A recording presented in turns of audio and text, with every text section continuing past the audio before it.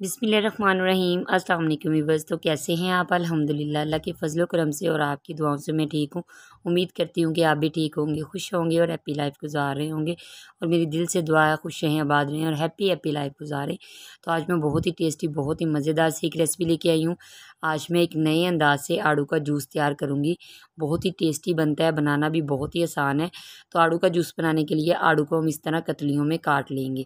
ठीक है, छिलका जो है वो नहीं उतारना है इसका। पहले मैंने छिलका उतार के आपको जूस बनाना बताया था, लेकिन अब मैं इस तरह बनाना सिखाऊँगी आपको, क्योंकि ये जो जूस है, इसके अंदर जो आड़ू के जम्स हैं, वो हमारे मुँह में आएँगे तो बहुत ही टेस्टी, बहुत ही मज़ेदार से लगते हैं। तो ये वाला जो हिस्सा है, ये हम रिमूव कर देंगे, अलहदा कर देंगे गुटली को भी निकाल देंगे इसके अंदर से तो इसी तरह सारे आड़ू को काट लेना है, ठीक है?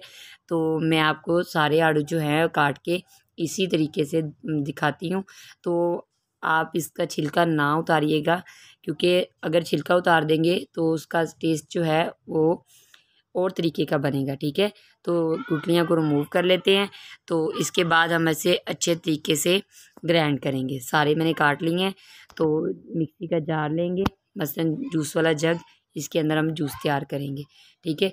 तो मैं पहले थोड़े से डाल देती हूँ, थोड़े से मैं बचा लूँगी, क्योंकि दो हिस्सों में मैं बना लूँगी, ज़्यादा है, इसलिए ठीक है?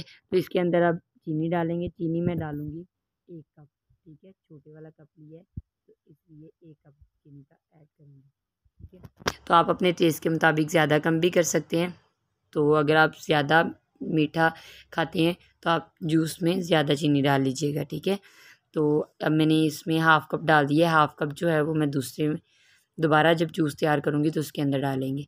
तो अब हम इसमें पानी डालेंगे। पानी जो है वो मैंने बिल्कुल ठंडा लिया है, क्योंकि गर्म पानी नहीं ऐड करी।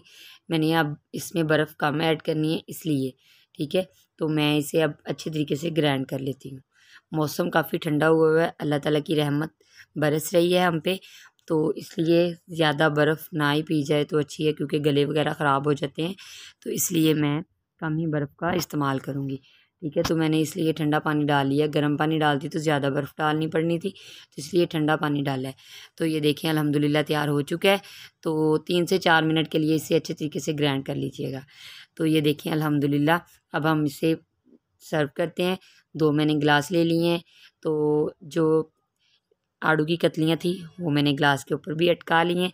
तो ठीक है, ये देखिए, अल्हम्दुलिल्लाह, बहुत ही टेस्टी, बहुत ही मज़ेदार सा ये जूस तैयार हुआ है। आपके सामने मैंने आप ग्लास में डाला है तो आपको जम्स नज़र आ रही होंगे। तो उम्मीद करती हूँ कि आपको मेरी ये रेसिपी बहुत पसंद आई होगी। तो मेरी आपसे गुजारिश है कि प्लीज़ चैनल को सब्सक्राइब करें, वीडियो को लाइक करें और शेयर करें। और साथ ही बेल आइकन के बटन को प्रेस करना ना भूलिएगा, क्योंकि हर आने वाली वीडियो का नोटिफिकेशन आपको उसी से मिलेगा। तो मुझे दुआओं में याद रखिएगा। नेक्स्ट वीडियो तक इजाज़त दे। अल्लाह हाफिज़।